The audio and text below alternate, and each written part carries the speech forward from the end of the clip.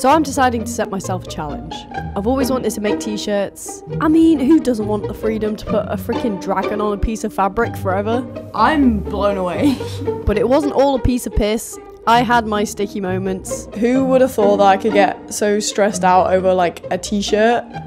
So today I'm going to show you all the ins and outs of how I'm setting up my new business. Hopefully this can help you get your first sale. So let me show you what's going on. Hold on a second. I am packaging. Oh god, I just showed you that address. I am packaging the first ever order. So that was me packaging my first order over two years ago. That makes me feel so old. Since then, I've been helping you guys start your own businesses through these videos. Okay, I'm kind of glad people like that video because I have a lot more advice. I've done many things wrong to do with my business and just in general, things have gone wrong. Okay, this is the big reveal. So I feel like I've got a bit of um, imposter syndrome because everyone's watching this video and my business for the past few months has been on pause. Basically, my shop's been suspended. It's been very naughty.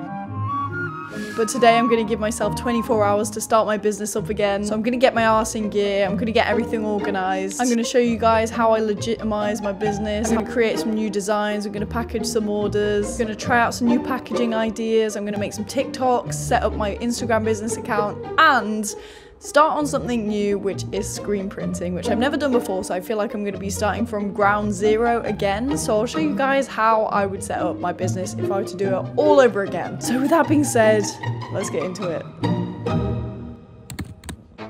So I think the first thing that I'm gonna try and do is to create some new designs. So I received requests to do two different bands. Number one is Metallica, love them, and number two is Gorillaz. I am obsessed with Gorillaz, so I think these vinyls should turn out okay, but I'm gonna go get started with those.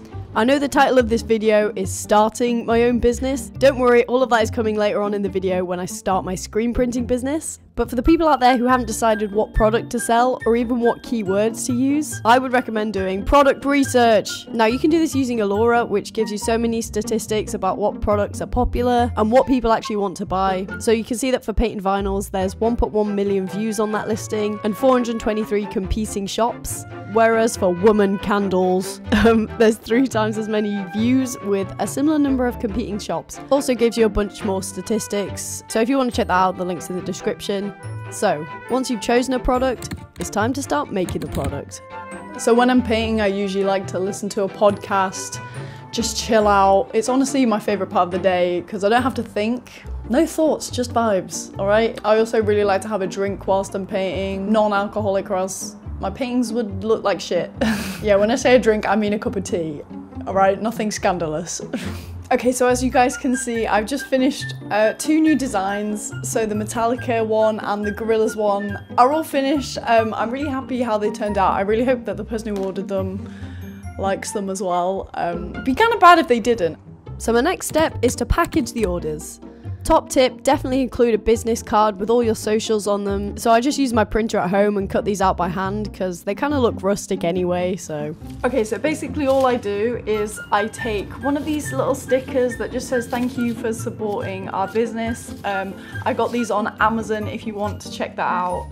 Um, and I stick one of these stickers onto one of the cards like this and then I just stick it on the front of my products like that. Also, although I love my business cards, um, I think it'd be really cool if I put a QR code on them. So what I might work on this week is um, setting up like a Linktree so I can have a website with all my links on them uh, and then create a barcode for that or a QR code, sorry and then put it on one of these cards so people can just scan it and see all of my links instead of just like two of them. So this is actually what my Linktree ended up looking like. But I wanted to go a step further, so I went to QR Code Monkey, which is a website that lets you personalize a QR code for free, basically. Like, how cool is life that you could just make a QR code with your logo inside and you could make it all these like funky colors? So cool. Anyway, after that, I wanted to go even further because I'm a madman. I went to Vista Prints and made a whole sticker out of this QR code so I can put it on my packages in the future. Uh, sadly, this bit wasn't free, but not sponsored, by the way. And then I have these specialist packages for vinyls um, that I just literally stick that in there, take off the stickiness, and then seal it down. And I stick my thingy on the front of it. Um, but I can't show you that because that would be doxing someone and I don't want to reveal where they live or get sued. So I'm sure you can picture that part. My packages are very specialised for my vinyls, but I've been looking into more unique packaging for my new screen printing business. So I found this website called BoxUp. Um, lots of different shapes and sizes, so you can choose like a pattern and stuff. Pretty cool. Anyway, all that is left to do is to go to the post office or the delivery office because I prepay for my labels. Okay, so I don't think I quite got done everything that I wanted to today. So I've sort of sorted out my vinyls and stuff, but I really want to get started with screen printing.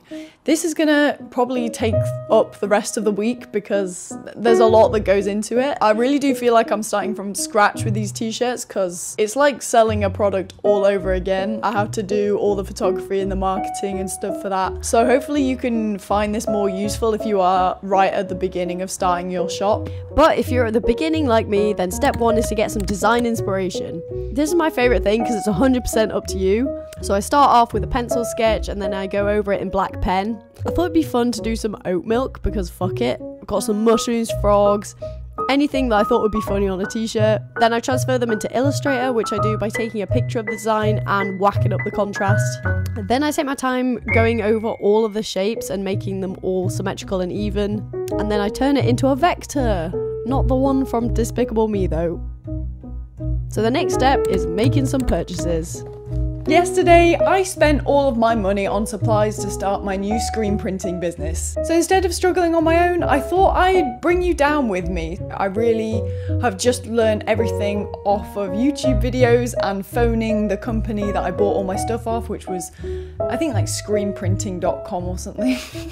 okay, wow. First things first, we have the, um, the emulsion, which comes with diazo and So this is the ink that I'm going to use. This is what I'm going to be putting on the t-shirts. Honestly, these pots are smaller than I thought. This is so exciting though. They like filled this with stuffing. Okay, I am now moving on to this package. it's the clothes.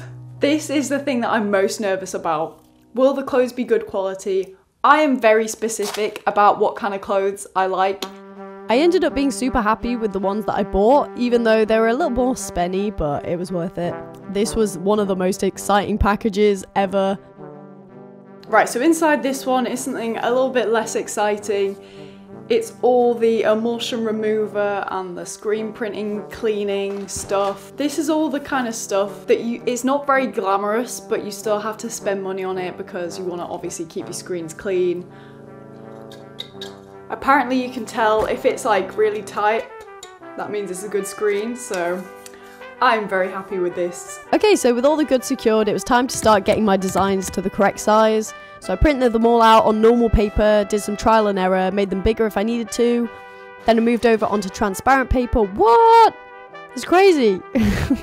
so these are like stencils. I place them over the emulsion on the screen and then they block the UV light out in specific spots. So then you wash the designs out with water and it gives you the perfect design on the screens. But of course, before that, I needed to coat the screen using emulsion. I think you have to mix that one into this, which was very scary because now I only have one month to use all of that up. A kilogram, a kilogram of emulsion.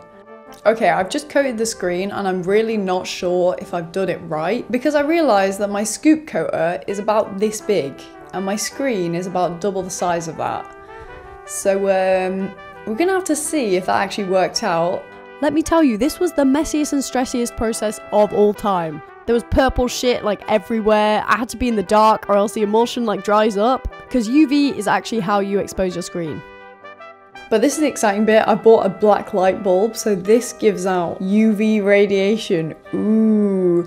So I can expose my screen properly. Ooh. Have you seen how cool this shit looks? Anyway, I started by setting a timer for 30 seconds and then I washed the screen out with a hose. And surprise, it didn't work. So I had to do it again with the second screen, but this time I did it for two minutes and that was the perfect amount of time. So I ended up with only one screen, but that's okay. So it's time for the most important stage, which is printing the design. Okay, so I am just about to get started on some of my first prints. I've got my screens, I've got my squeegee, and I have my jumpers. Everything is in place. I just have to get the ink out. I only got three colours, black, white and brown, because I'm kind of going for like a beige, like cottage core aesthetic kind of thing. So I set up my printing studio and I started to get nervous. I'm really nervous to do this because if it goes wrong, I will ruin the t-shirts. And although they weren't the most expensive part of this, they're the part that if it goes wrong, I'm just stuck with like this shameful, messed up t-shirt. okay, this is the big reveal, the first print that I've done. Fuck. so the first time that I did actually try and screen print, it didn't go very well. I definitely used too much ink. So I flooded the screen with basically too much ink. Oh dear. I was thinking of just giving up at that point um, and just thinking like, it's too hard, I can't do it. But luckily I didn't because I decided, fuck it, I'll try it one more time and if it works, it works, if it doesn't, it doesn't. Okay, I actually used a lot less ink for this one, so hopefully this one comes out. Oh, yeah! Look at that! The print actually came out. I was so, so happy, as you can see. Oh my god. So yeah, lesson learned. If it doesn't work the first time, try it a second time. It looks so good. Yeah! Oh my god, I'm so glad that turned out. Holy shit. I managed to actually print out this design today and I am, I'm literally over the moon. Cause Jesus Christ, it was a ball ache. I thought it wasn't gonna work. Oh my god. Who would have thought that I could get so stressed out over like a t-shirt? oh my god. I'm blown away. okay, so this was actually the first attempt of the skull design that I did. As you can see, it's just sort of a blob. But eventually I managed to see what I was doing wrong. It turns out I was flooding the screen before putting it on the t-shirt, which really, it didn't work, guys. and instead, this is the final product. Uh, I have tote bags as well. So at the end of the week, once I've finished all my new products, I'm going to set up a little photo shoot, take photos of them to upload to Etsy and add the listings, and also use it to promote the products on my Instagram, which I think would be really cool. So it was time to set up my camera.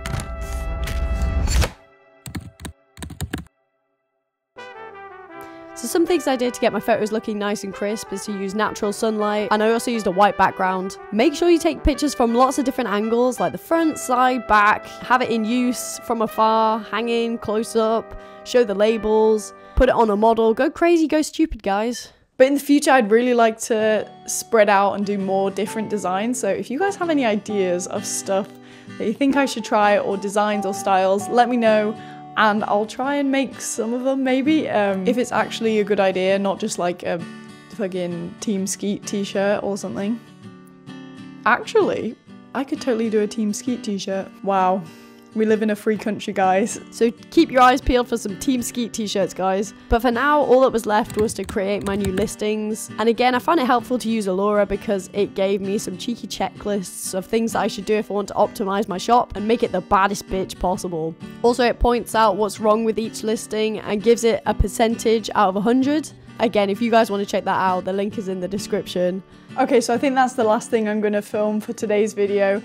Um, if you enjoyed it, let me know in the comments. Um, and like this video, I never say that, but like the video. Subscribe, stay around, um, and I will get you in the next video. I'm sorry, I don't know what I mean by I'll get you. Um, I thoroughly apologise for that. Okay, bye.